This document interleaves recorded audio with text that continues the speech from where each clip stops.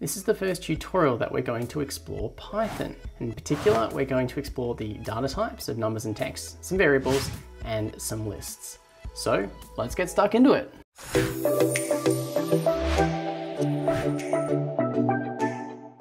Hey crew, it's the Surfing Scratcher here, teacher surfer programmer, and on this channel I help curious learners just like you along on your learning journeys. This video is a continuation from our From Scratch to Python series where we started with a Scratch project and we're converting it now into a Python project. So to kick off, let's explore the data types. Over here in the left hand pane, I've just got our Scratch project editor, and you see I've got our variables and our lists here. If I click on these reporter blocks, you'll see that we get a data type and this data type is a number. And if I click on say text output, you can see we get a text data type.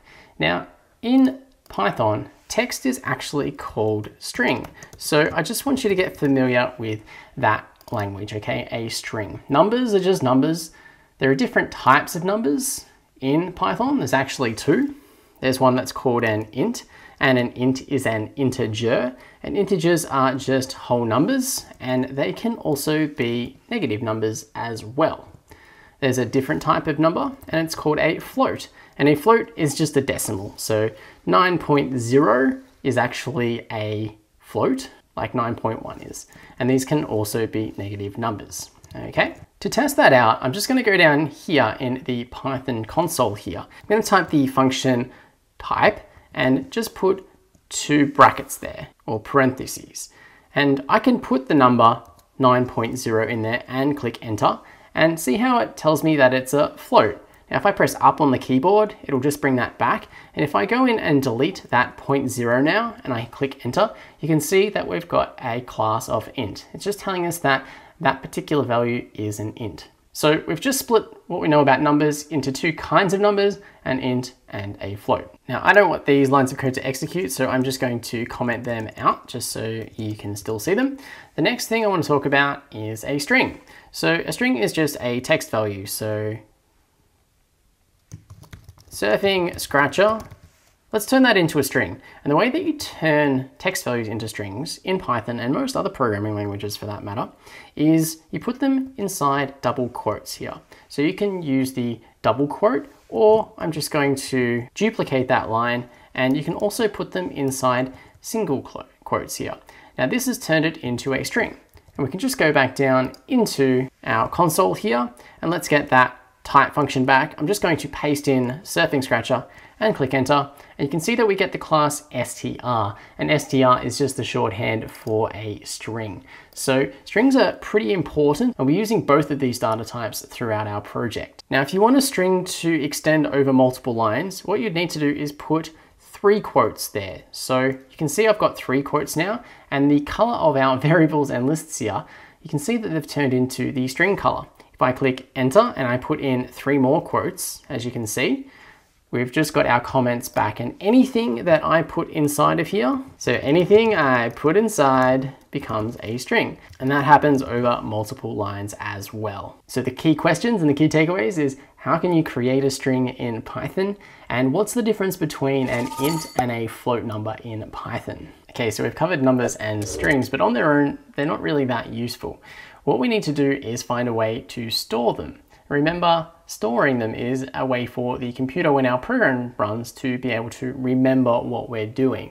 And that's what variables and lists do. You know that we've got variables and lists in Scratch, and a quick refresher is that a variable is used to store a data type, so to store a text value or to store a, an int value or a float value. And over in Scratch, we've got lists that are basically multi-line variables. Now variables work exactly the same in Python. So I can write the variable column position and I can assign it a number. So let's just check what the value of column position is over here.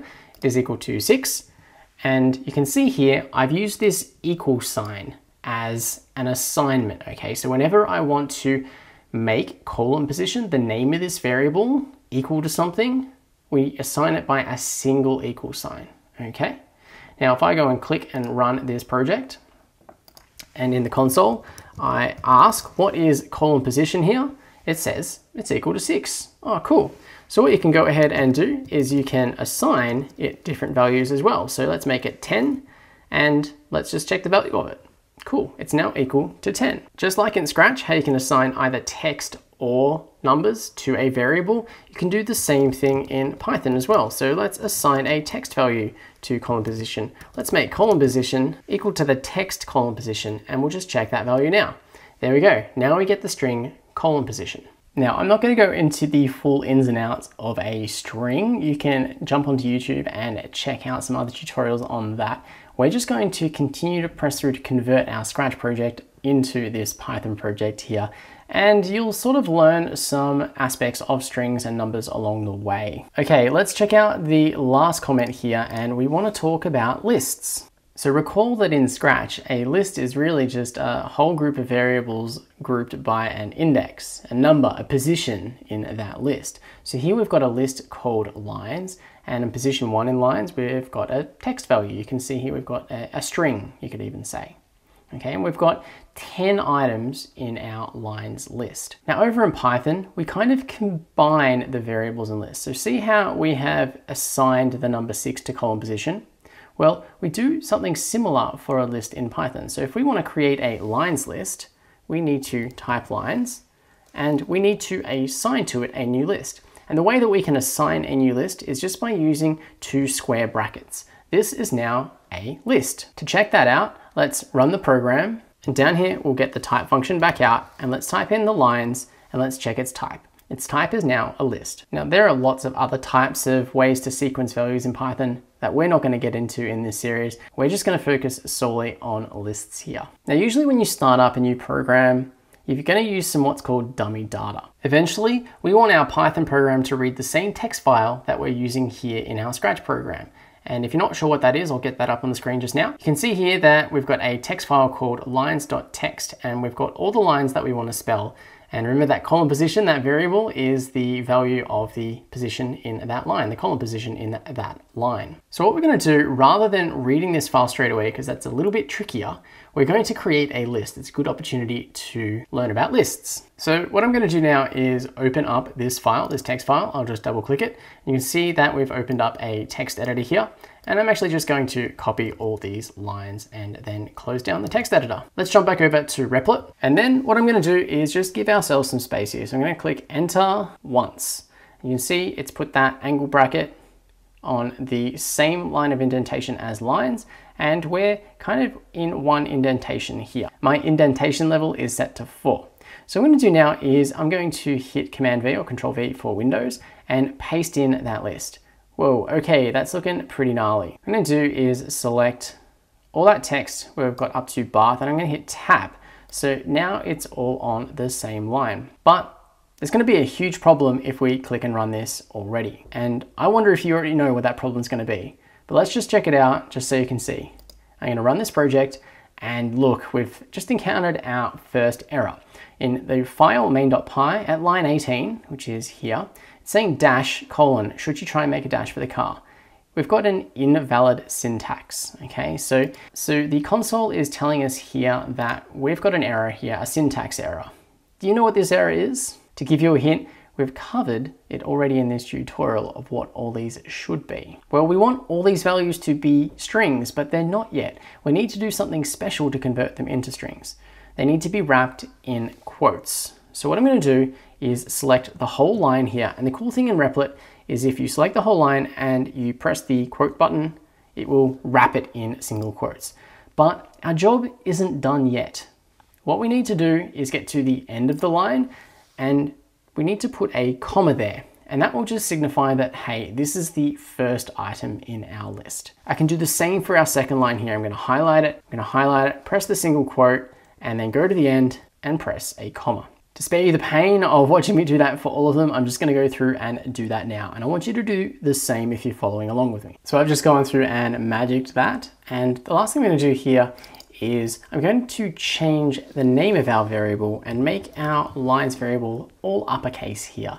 And the reason I'm doing that is this refers to a constant. And a constant means that I don't intend to change this as a variable. Like it's gonna stay the same. Once I've set it, I don't wanna change it. Of course, I could still change it, but it's just best practice. If you make things uppercase, and you would have seen that in some of my Scratch tutorials if you've been following me through the journey, that is just to signify to other people that, hey, this is just gonna remain the way it is. Now, if I click and run this project, and I type that variable down here into the console, you can see that it outputs our list here of lines, which is exactly what we're looking for. I'm just gonna clear that console and I'm gonna introduce you to a neat little function that we can use to call on lists to check the size of them. This function is called len and we can call len to figure out the length of the thing that we pass to it. And the thing we're passing to it is lines.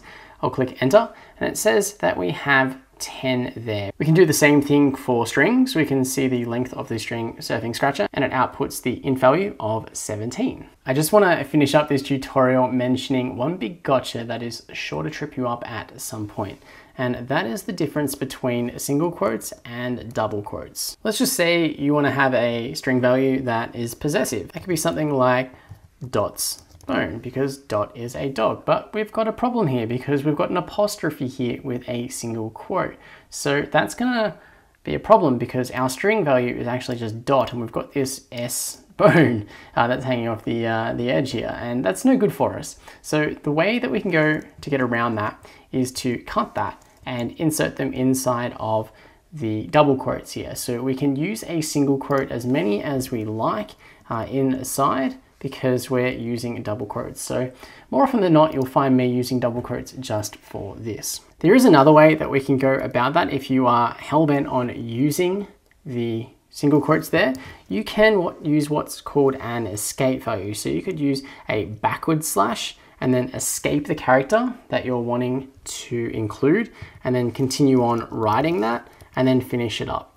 But that's a little bit trickier and we're not going to get too much into these escaping, but I just wanted to share it with you. The rule of thumb for now is let's just use double quotes for strings. All right, congratulations. You should now have a Python file with some lines and all of the lines of text that we're going to read. In the next tutorial, we're going to unpack this set column position in line. We're going to write our first function with all these variables, explore some looping as well, there's lots to cover. We're going to hit the ground running and I can't wait to see you in it. So until then, I'm off to find a wave. I'll catch you in the next one.